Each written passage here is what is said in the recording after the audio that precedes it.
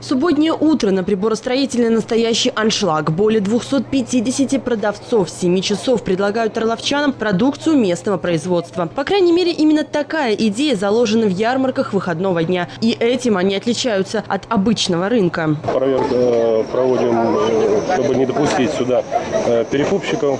В связи с тем, что ярмарка, согласно постановлению, организована для товаропроизводителей Орловской области. Согласно постановлению, рекомендовано продавцам установить цены не выше средней, среднего по области. Но в это утро ярмарочный покой был нарушен присутствием неожиданной делегации. Сотрудники Россельхознадзора и представители городских СМИ проверили коммерсантов на наличие необходимых документов и соблюдение всех требований при продаже товара. Да, Документы можно вас?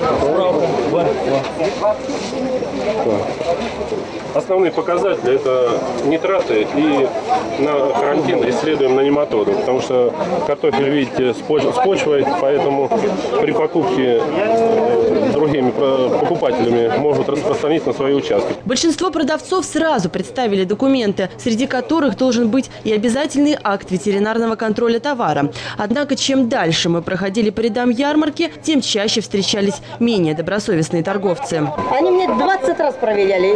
Справочка. Справочки. А справочка? Куда сделать справочку? Три раза в этом году. Я возьму документов. Я сегодня малышку заеду. В этот день им пришлось покинуть свое рабочее место. Такая мера наказания коснулась и тех, кто торговал продукцией не местного производителя. Больше всего вопросов у журналистов вызвала мясная продукция. Скорее всего, она действительно свежая и прошла всю необходимую проверку. Но как можно торговать мясом на жаре, в то время как по нему ползают насекомые, и разделывать продукцию голыми руками? Сейчас закрывается марочка. Ну, вот это почему не закрыто? Марлечка у вас до конца не закрывается. Вот это тоже закрывает. Если вы не можете закрыть, вынимайте оттуда из холодильника. Штрафные санкции на физическое лицо, если физическое лицо, у нас идет от 500 до 1000 рублей. А между тем, пришедшие сюда жалобу жильцов приборостроительной, направленную депутату облсовета, на неудобство расположения ярмарки и сомнительное качество товара не поддержали. по качеству хорошие.